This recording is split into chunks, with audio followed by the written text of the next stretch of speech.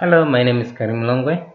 In this video, I'm going to demonstrate on how to use Mendeley desktop referencing software, how you can get reference material from the internet, put in your machine, and start referencing directly from your machine. So what we'll do first is we're going to we're going to the website, the www.mendeley site. After you click that, it's going to give you a page.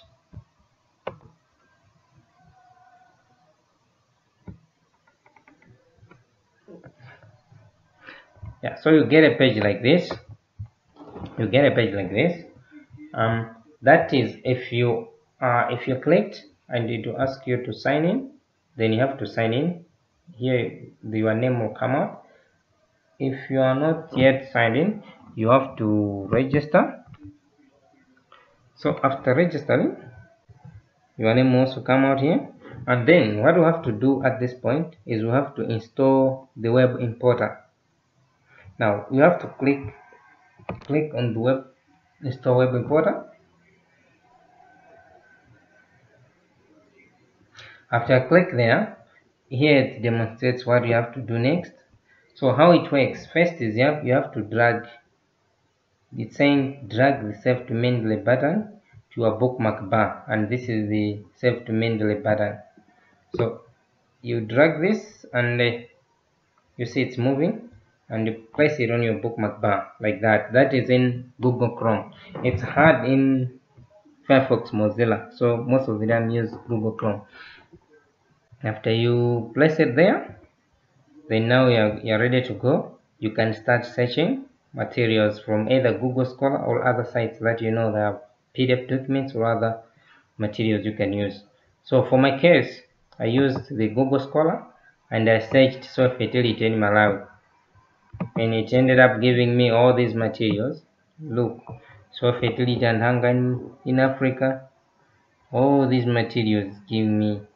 So what I have to do is I click on the button that I placed on the bookmark bar. Save to Mendeley button if I click that it will start saving materials.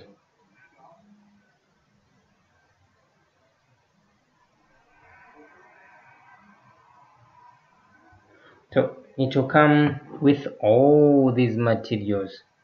So you can do two things. Like when you're in google scholar you can save all.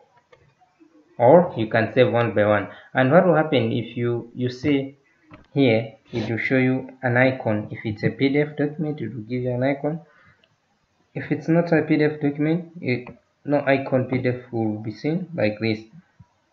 So what you have to do is you choose which one you have to install. So like for my case i, I want to install soil fertility and hunger in africa. So i'll just click here and wait a bit okay then it becomes faint and it says open in Mendeley. But since I clicked save I don't need to open Mendeley. What I'll do is I'll go to my Mendeley desktop. Now you see the after opening the Mendeley desktop you have to go to synchronize. You forget about this because they're already here. Let me clear out this so that we should go on the first the same stage. If I click this and I click on synchronization. Then it will start synchronizing retrieving. Sending new documents at, at of white and here I will have the link that I click there in Mendeley and if you see this blue star it has also downloaded the PDF in my computer. So what I wanted is to use this as my reference. So here we go. We have that link. You can also read from Mendeley. If you click here on the Microsoft it will open on the PDF it will open this document. But most importantly is we just wanted to demonstrate on how you can get that material from website. Thank you